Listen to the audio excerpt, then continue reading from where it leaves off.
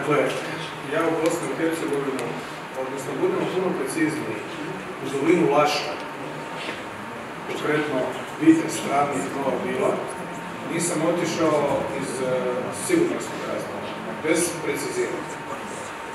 Mogu reći da nisam otišao iz sigurnosno-organizacijskih razloga, kompleksnih, ja radim vlastite sigurnosti. Moja, ako već o tome razgovaramo, sigurnost je tamo ne radi se o tome, radi se o cijelom nizu stvari koje su se naprosto poklopile, koje su u zdravom razumu govorile da to treba preskočiti.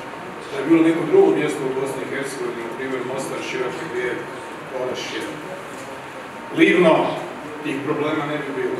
Ali s obzirom na etnički sastav tog prostora, noviju povijest, mislim da je bilo odgovorno s moje strane da na kraju ja donesem odluku da tamo ne idemo i da drugima ne zavrćavam život organizacijom koja je trebala biti sve kompleksnija i kompleksnija, radi nečega što će imati svoju reprizu i to vrlo.